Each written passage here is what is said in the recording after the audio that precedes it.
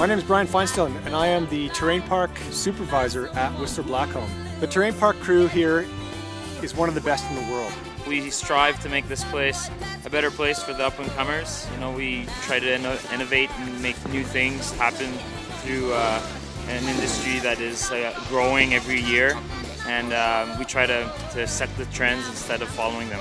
The Terrain Park Rangers here have built jumps for photo shoots, they built them for movies, they built them for everything that you can imagine.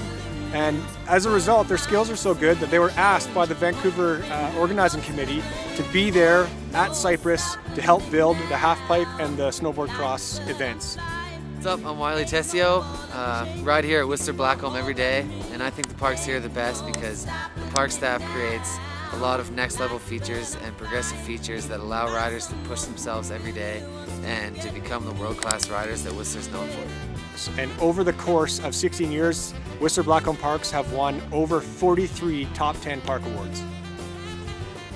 With over 200 features spread out between five parks, Whistler Blackcomb Terrain Parks is the best in the world.